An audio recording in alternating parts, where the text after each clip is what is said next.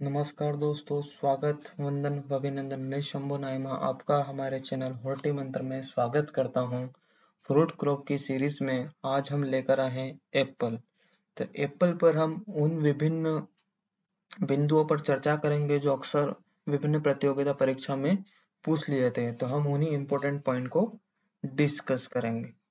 जिसमें सबसे पहला है king of temperate fruit apple को ही किंग ऑफ़ टेम्परेट फ्रूट कहा जाता है। एप्पल को क्या कहा जाता है। इसी को किंग ऑफ़ टेम्परेट फ्रूट के नाम से जाना जाता है। साथ ही साथ इसको premier fruit of the world के नाम से भी जाना जाता है। अगर पूछा जाए कि premier fruit of the world किसे कहा जाता है तो एप्पल को ही प्राइमर फ्रूट ऑफ़ वर्ल्ड कहा जाता है। और इसी को सिंबल ऑफ़ हेल्थ के नाम से भी जाना जाता है।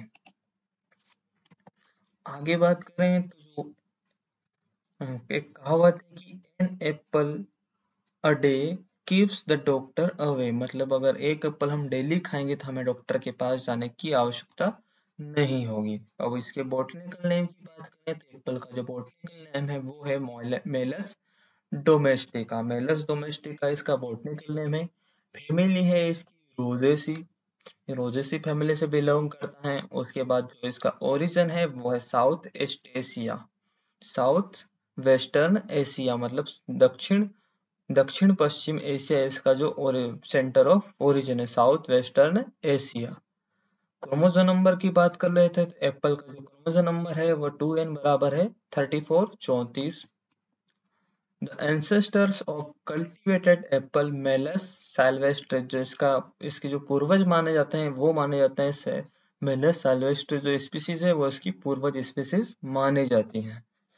Apple (Meles baccata) is cultivated as an ornamental tree for its attractive flower and fruit. जो क्रेब एप्पल है मेलस बकाटा, उसको उपयोग किया जाता है ऑर्नामेंटल ट्री के रूप में क्योंकि इसके जो फ्लावर हैं और जो फ्रूट है वो काफ़ी अट्रैक्टिव होते हैं उसके बाद जो केरेब एप्पल है वो most common root stock used in India जो क्रेब एप्पल है उसका मूल ग्रंथ या रूट स्टॉक के रूप में इंडिया में यूज़ किया जाता है commonly it is a fruit ये जो है डेसिटियोस फ्रूट ट्री है apple China is largest apple producing country in the world चीन है, वो सबसे ज़्यादा एप्पल का उत्पादन करने वाला देश है हमारे विश्व में। न्यूट्रेटिव वैल्यू की बात करें, पोषक इसकी पोषक वैल्यू की तो इसमें कार्बोहाइड्रेट पाया जाता है तेरह दशमलव चार प्रतिशत कैल्शियम पाया जाता है सौ मिलीग्राम दस मिलीग्राम प्रति सौ ग्राम फास्फोरस पाया जाता है चौदह मिलीग्राम प्रति सौ ग्राम,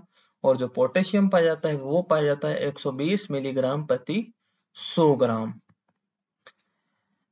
बॉल ऑफ़ इंडिया जो भारत का सेब का कटोरा कहा जाता है, वो कहा जाता है हिमाचल प्रदेश को। हिमाचल प्रदेश को ही भारत का सेब का कटोरा कहा जाता है। Among the fruit, apple have long storage life. सभी जो फल है उसमें एप्पल जो है उसकी जो स्टोरेज लाइफ होती है वो काफ़ी ज़्यादा होती है। इसको काफ़ी ज़्यादा समय तक स्टोर किया जा सकता है अन्य फ्रूट की तुलना में। इसकी क्लाइमेटिक कंडीशन में टेम्परेचर की बात करें तो इक्कीस से चौबीस डिग्री तापमान, डिग्री सेल्सियस उसको तापमान चाहिए समुद्र तल से 1500 से 2700 मीटर ऊंचाई तक इसकी खेती की जा सकती है। रेनफॉल की बात सौ से 125 सेंटीमीटर इसको वार्षिक वर्षा की आवश्यकता होती है। चिलिंग रिक्वायरमेंट में इसको जो चिलिंग रिक्वायरमेंट चाहिए, वो चाहिए 1000 से 1500 घंटे। एट और below seven degree Celsius during the winter जो ठंड के दिनों में इसको 60 डिग्री या 60 डिग्री से कम तापमान इसको चाहिए ताकि क्या है कि जब सात डिग्री से ज़्यादा तापमान बढ़े तो ये आसानी से फ्लोवरिंग कर सके। सोइल टाइप की बात कर लें तो इसको जो सोइल टाइप चाहिए वो चाहिए स्लाइटली एसिडिक लोमी सोइल जिसका पीएच पाँच दशमलव पाँच से छह दशमलव पाँच होना चाहिए क्योंकि हल्की अम्लीय मृदा इसको चाहिए। It is propagate by whip और टंग ग्राफ्टिंग इसकी जो कॉमर्शियली प्रोपोगेशन की मेथड है वो है वीप और टंग ग्राफ्टिंग और जो रूट स्टॉक है for root stock propagation stooling और माउंट लेयरिंग जो रूट स्टॉक के लिए जो प्रोपोगेशन की मेथड है, वो है स्टूलिंग या माउंट लेयरिंग प्लांटिंग सिस्टम इसकी जो प्लांटिंग कहती है स्क्वायर सिस्टम वर्गाकार विधि से इसकी जो प्लांटिंग की जाती है। स्पेसिंग की बात करें तो जो इसकी जनरल स्पेसिंग है, पाँच गुना पाँच मीटर अगर मीडियम हाई डेंसिटी की प्लांटिंग की बात करें एमडीपी की तो वो है तीन मीटर गुणा दो मीटर और अगर हाई डेंसिटी प्लांटिंग की बात करें एच डी पी की तो दो मीटर इंटू वन मीटर इसकी हाई डेंसिटी प्लांटिंग की जो स्पेसिंग है वो रिक्वायर्ड है। यूजली वन इन सिक्स और one in nine plants is use an pollinizer in self unfruitful varieties जो सेल्फ अनफ्रूटफुल वेराइटी मतलब जिसमें जो सेल्फ अपना पोलिनेशन नहीं कर सकती, उन वेराइटी के बीच में छह पे एक पौधा पोलिनाइट पोलिनाइजर वेराइटी का या नौ पौधों पे एक पौधा पोलिनाइजर वेराइटी का लगाना चाहिए जिससे क्या है कि अच्छा पोलिनेशन हो सके और जो हमें फलन है वो ज़्यादा से ज़्यादा प्राप्त हो सके। India, 11 to 33 pollinizing tree are recommended for quality fruit production Bharat में 11 से लगाकर 33 प्रतिशत तक पोलिनाइजर ट्री लगाने की सलाह दी जाती है ताकि जो हमें अच्छा और क्वालिटी फ्रूट प्रोडक्शन हो सके। मतलब 100 पे 11 पौधे या 33 पौधे। 11 से लगाकर 33 पौधे हमें 100 पौधे पर लगाने की सलाह दी जा सकती, दी जाती है ताकि क्वालिटी फ्रूट प्रोडक्शन किया जा सके। Bear fruits but in past season growth जो एप्पल की जो ग्रोथ होती है वो जो पिछली जो ग्रोथ हुई है, उस पे, ओल्ड सीज़न ग्रोथ पे इसकी फ्लोवरिंग आती है और इसको स्पूर कहा जाता है।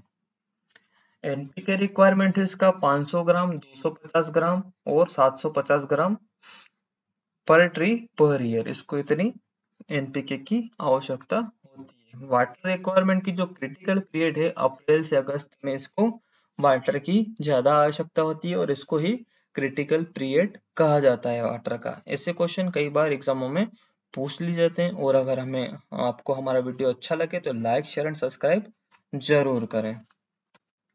आगे बात कर लेते हैं फ्लोवर कलर की। तो इसका जो फ्लोवर कलर है वो होता है व्हाइट टू पिंक इसका जो फ्लोवर कलर होता है वो व्हाइट से पिंक फ्लोवर कलर होता है। इन्फ्लोरेसेंस की टाइप इन्फ्लोरेसेंस टाइप की बात करें तो इसका जो इन्फ्लोरेसेंस होता है वो उसको साइमोस कहा जाता है। फ्रूट टाइप तो इसका जो फ्रूट टाइप होता है होता है पोम एडिबल पोर्शन की बात करें एडेबल पार्ट की बात करें तो फ्लैसी थैलामस और मेजोकार्प इसका खाए जाने वाला योग्य भाग है। सोर्बिटोल सुगर और malic acid are present in apple fruit जो मेलिक एसिड है और सॉर्बिटल शुगर है, वो इसके फल में पाया जाता है। फिजियोलॉजिकल डिसऑर्डर की बात करें तो बीटर पीट और cork spot caused by calcium deficiency इसमें फिजियोलॉजिकल डिसऑर्डर बीटर पीट और जो कोर्क स्पॉट होता है, वो होता है कैल्शियम डिफिशियंसी के कारण। Internal browning of of fruit and corking spot on the flesh caused by boron deficiency और जो जो फ्लेश पे कोर्किंग कोर्किंग स्पॉट होता है, वो बोरन डिफिशियंसी के कारण होता है।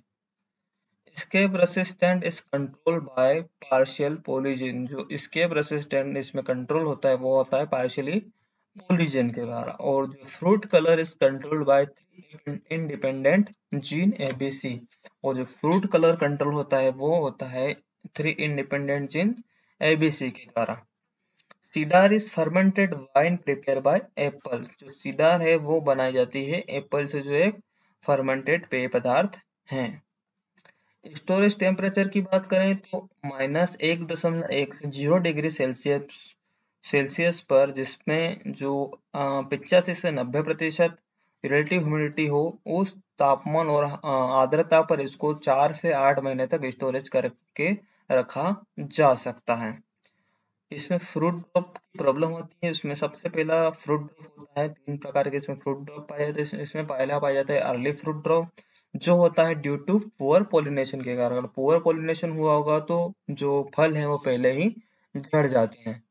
एक होता है जून ड्रॉप जून ड्रॉप होता है due to moisture stress and environmental condition जो अगर मॉइस्चर स्ट्रेस है, अगर वो होता है तो जून ड्रॉप हो जाता है। इसीलिए जो इसकी क्रिटिकल पीरियड है इरिगेशन का वो है April to August.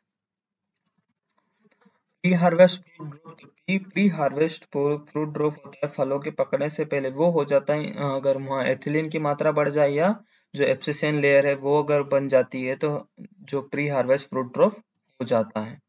वेराइटी की बात की जाए तो इसकी जो इंट्रोड्यूस वेराइटी है फ्रॉम यूएसए से यूएसए से इंट्रोड्यूस की गई वेराइटी वो है red delicious star king delicious और हाई एल्डिंग वेराइटी है, वो स्कारलेट काला और red fuji scab resistant variety की बात करें तो prima first scab resistant variety है। Honey crisp empire jonagold priscilla liberty फोर्डस सीरीन और सरप्राइज़ इसकी स्केप रेसिस्टेंट वेराइटियाँ हैं। फ्लेवर रिच वेराइटी की बात करें तो जो हनी क्रिप्स हैं वो इसकी फ्लेवर रिच वेराइटी हैं। वेराइटी की बात की जाए तो गोल्डन डेलिशियस रेड डेलिशियस और विंटर बनाना जो विंटर बनाना ये बार कई, ये क्वेश्चन कई बार पूछा जाता है कि विंटर बनाना किस क्रॉप की वेराइटी है? तो ये एप्पल की पोलिनाइजिंग वेराइटी है। Spur type variety red chief red spur delicious golden spur delicious low chilling variety जिसमें कम चिलिंग रिक्वायरमेंट की ज़्यादा आवश्यकता नहीं होती, वो है variety michal tropical beauty, parlin beauty. Triploid variety की बात करें तो बेल्डविन मोस्टू और ब्रामलैस। हाइब्रिड वेराइटी की बात करें तो सबसे पहले है लाल अमरी, जो क्रॉस है रेड डेलिशियस इनटू अमरीका और अमरी। और है, वो लॉन्ग स्टोरेज लाइफ इसकी जो स्टोरेज लाइफ है, वो काफ़ी लॉन्ग होती है। सुनहरी, अमरी गुणित गोल्डन डेलिशियस अकबर, अमरी इंटू ऑक्स ऑरेंज पीपेन ये tolerant to scab and powdery mildew है। Bread red delicious and sooty blotch next आता है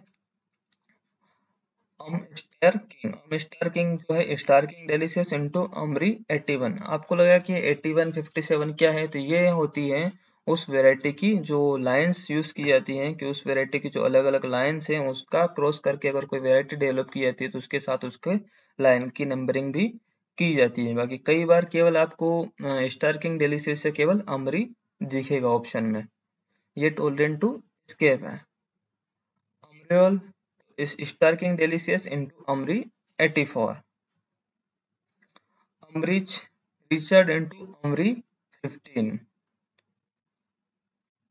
टोबटिया प्रिंसेस तो ये है red delicious into early Shanbury और चोबटिया अनुपम तो ये भी red delicious into early Shanbury का क्रॉस है।